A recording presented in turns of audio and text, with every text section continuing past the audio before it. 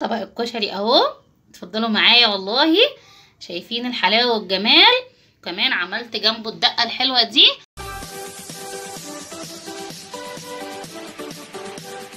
السلام عليكم ورحمة الله وبركاته. ازيكم يا حبايبي؟ عاملين إيه؟ يا رب دايما تكونوا بخير. معاكم شيرين من وصفات شيرين. بحبكم في الله وبتوحشوني جدا جدا جدا. إن شاء الله النهاردة هنعمل مع بعض الكشري المصري بأسهل طريقة. لأي حد بيقول الكشري لأ ودوشة وصعب. والله يا جماعة أسهل يعني هو سهل جدا مفيش أي حاجة متصعبوش حاجة على نفسكم. آه أنا بحبه جدا وكمان عايزة أقول لكم بتاع الحلة الواحدة ده بصراحة ما عجبنيش فما بحبش أعمله. فأنا هعمل النهارده إن شاء الله اللي هو العادي الكشري المصري اللي هو الطبيعي اللي بنسلق كل حاجة لوحدها. بس هيعجبكم جدا جدا وبتركاتي وحركاتي بقى إن شاء الله. هيبسطكم قوي. يلا بينا نشوف مع بعض هنعمل إيه. أنا كل حاجة عندي على البوتاجاز بس أنا بس عايزة أوريكم الحتة دي اللي أنا هعملها واللي هبتدي بيها شغلي. أول حاجة إن أنا هعمل البصلة جبت شوية دقيق اهو وهنزل بيهم على البصلة كده. بسم الله. هي دي بس. ولا هحط بقى ولا هحط عليه نشا ولا أي حاجة خالص. وأي حد يقول لكم البصل هيبقى مقرمش من غير دقيق بيضحك عليكم. أنا جربت وصراحة ما عجبتنيش خالص شرب زيت وما ما نجحش معايا. بعد ما هعمل كده هروح احدفه في مصفى عشان كل الدقيق ده يروح منه تمام؟ عشان ينزل الزيت على نظافة تمام؟ ومقطعة زي ما أنتم شايفين كده البصل زي الفل. يلا بينا نروح نشوف على البوتاجاز أنا عاملة إيه وحاطة إيه. بصوا حبايبي أنا معايا طاسة مغسولة ولسه حاطة فيها الزيت ده نضيف وزي الفل تمام؟ علشان الزيت ده هو اللي أنا هاخده أشتغل بيه. الطماطم وهعمل بيه الرز. وهتدوقوا أحلى كشري دقتوه في حياتكم هيعجبكم جدا جدا جدا. إن شاء الله. ومعايا هنا الحلة بتاعتي أهي. فيها المكرونة بتتسلق. ما عملتش حاجة غير إن أنا حطيت مية تغلي على النار. وحطيت عليها شوية ملح وسلقت المكرونة اللي هي اسباجيتي وعقل صغيرة خواتم. والناحية التانية أهو حمص الشام بيتسلق نقعاه من بالليل وقعدته دلوقتي يتسلق على النار. ومعايا حلة كمان فيها العدس أهو بيتسلق برضو مفيش أسهل من كده. يعني العيون كلها شغالة. تمام؟ مفيش مشكلة خالص بس هناكل أحلى كشري وبنظافه البيت يلا نقول بسم الله. حطيت البصل أهو في مصفى عشان كل الدقيق ينزل وهنزل بيه وأقول بسم الله. وهبتدي أقلب فيه. النار طبعا عالية وزيت كفاية علشان يخليه مقرمش وحلو زي بتاع الراجل بالظبط. تمام؟ تمام. المكرونة بتاعتي خلاص استوت أهي. هروح يعني كله بعمله في نفس الوقت. يعني مفيش فين الصعوبة بقى؟ كل حاجة محطوطة قدامي وبمنتهى السهولة. البصل ده أنا هروح أصفي المكرونة وهرجع لكم بعد ما يكون البصل اتحمر إن شاء الله. واللون ده ما شاء الله اللي أنا عايزاه. هطلع بقى على كده طبق وفي منديل أهو وأطلع. وأقول بسم الله. مش عايزة أغمق على كده عن كده علشان خلي بالكم البصل بيمرر. لو زودتي عن إن انت حمرتيه قوي هيديكي طعم مر. وبرشله رشة ملح صغيرة ورشة كمون وهيديكي أحلى طعم. بصوا الحلاوة ما شاء الله. ونسيبه كده في الهواء ما نغطوهوش ولا أي حاجة. تمام؟ الزيت ده بقى هاخد منه شوية زي ما قلت لكم عشان أبتدي أعمل الرز. أنا معايا حلة أهو. هجيب مصفى بس عشان مش عايزة أي حاجة برضو تنزل معايا في الزيت. المصفى اللي أنا كنت حاطة فيها الدقيق ما فيهاش حاجة يعني. أهو بسم الله. وحطيت شوية زيت تمام؟ علشان أروح أعمل الرز. ودوقي بقى أحلى طعم. بس أنا زودت كتير فهنقص حبة بس. بصوا حبايبي هو المفروض إن أنا هحط شعرية بس للأسف أنا فوجئت إن أنا ما عنديش إلا الشعرية الحبة دول. تصوروا بقى. بس مش مهم مش مهم بقى خالص.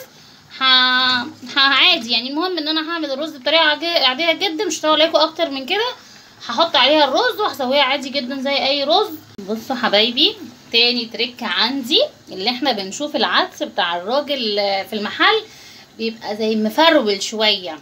فأنا سألته بقى مرة الفرولة دي إيه سرها؟ قال لي إن هو بيعمل كده. اللي أنا هعمله دلوقتي بجيب طاسة فاضية وهنزل فيها بعد بعد العدس ما يستوي. بس ما تحاوليش تسوي العدس قوي عشان يعتبر دي إحنا بنسويه تاني.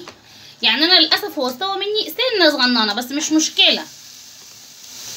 تمام؟ الحركة دي بقى هتخلي لك العدس شكله شبه العدس اللي إحنا بنشوفه عند المحل كده. تمام؟ بصوا أهي. إن أنا هديله زي تشويحة على النار. كده تمام تمام قوي هو ده بقى اللي أنا عايزاه. بصوا ما شاء الله زي ما بنروح كده المحل وبنلاقي ال- العدس فيه كده زي شكل متغير إن هو يكون غير ما يكون مسلوق. بيديله التشويحة دي تمام؟ خلاص بقى هروح أشيلها على جنب. ومعايا طبعا زي ما قلت لكم حطيت عليها شوية ملح وشوية آه آه كمون تمام؟ دلوقتي بقى هنعمل الصلصة. يلا بينا مع بعض نشوف هنعمل الصلصة إزاي. بصوا حبايبي حطيت الزيت اللي هو بتاع البصل أهو وهنزل عليه بحتة تومة. إحنا دلوقتي بنعمل الصلصة. بسم الله.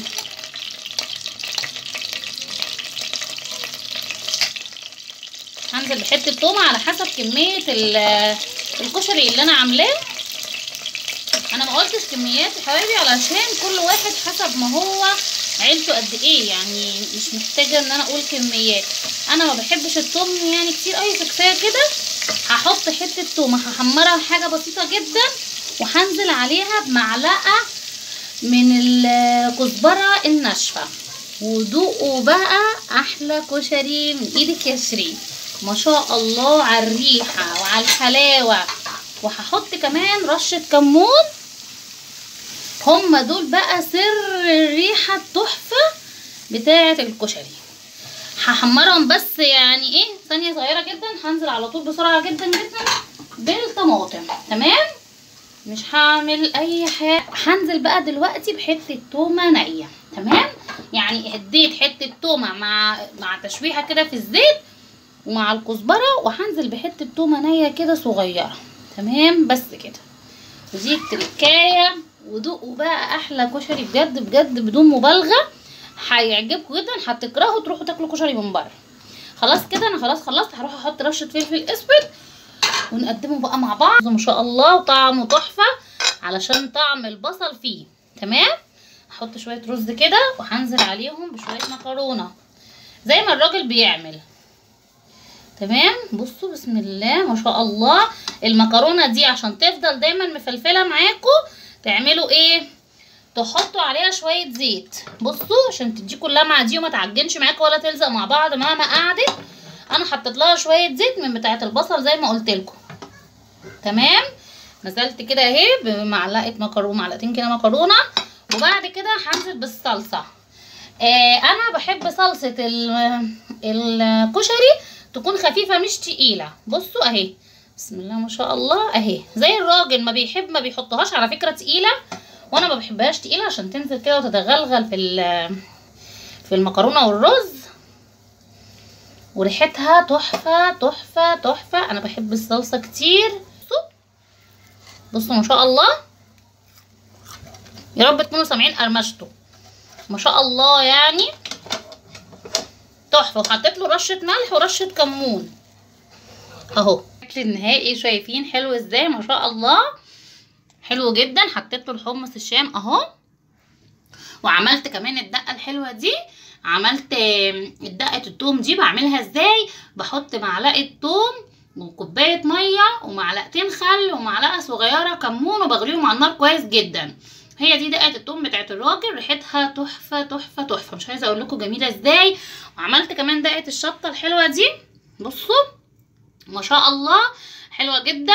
معلقتين صلصة وعليهم معلقة كبيرة شطة. وحطيت عليهم شوية من الخل بال- بالدقة اللي أنا عاملاها الناحية التانية ده.